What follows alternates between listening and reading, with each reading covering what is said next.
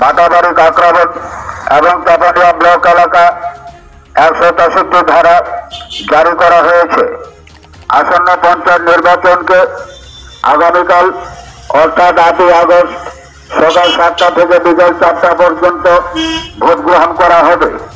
এই ভোট গ্রহণ প্রক্রিয়াকে সুস্থ, শান্তিপূর্ণ এবং অবাধ করার জন্য কমিটি জেলার জেলা শাসক ফরিদ কান্তি চাকমা একাদশ বলে গোমতী জেলায় উদয়পুর মহকুমার অন্তর্গত কাকরাবন, মাতাবাড়ি এবং চাপানিয়া ব্লক এলাকায় ভারতীয় নাগরিক সুরক্ষা সংহিতা দুই হাজার তেইশ এর একশো তেষট্টি ধারা জারি করেছেন এই একশো তেষট্টি ধারা অদ্য সাতই আগস্ট বিকেল পাঁচটা থেকে নয় আগস্ট সকাল ছটা পর্যন্ত বলবৎ থাকবে।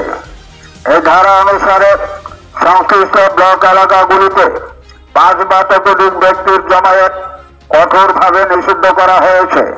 পুলিশ, নিরাপত্তা কর্মী এবং ভোটের কাজে নিযুক্ত সরকারি কর্মচারী, জরুরি পরিষেবা, প্রেস, এই নিষেধাজ্ঞার বাইরে থাকবে।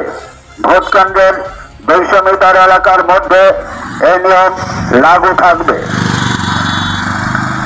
এই আদেশ অমান্যকারীর বিরুদ্ধে ভারতীয় নাগরিক সুরক্ষা সংহিতা বিধির দুশো তেইশ নং ধারা অনুসারে শাস্তিমূলক ব্যবস্থা গ্রহণ করা হবে। আদেশ অনুসারে জেলা শাসক সমাহর্তা গোমতী জেলা। ধন্যবাদ।